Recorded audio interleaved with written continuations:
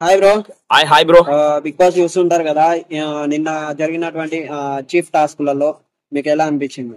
చాలా బాగుంది. గేమ్ అయితే చాలా అనిపించింది. సో సోనియాని వేరే టీమ్లో నుంచి తనను వదిలేసి ఒక టీమ్లోకి అలా వెళ్ళిపోవడం అనేది కొంచెం ఆ, బాధాకరంగా అనిపించింది.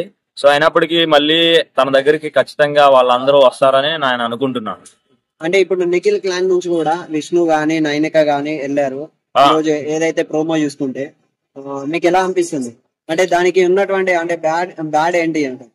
అంటే లాస్ ఏంటి అంటారు? ఇప్పుడు నిఖిల్ కానివ్వండి తర్వాత ఇంకొక ఎవరన్నారు?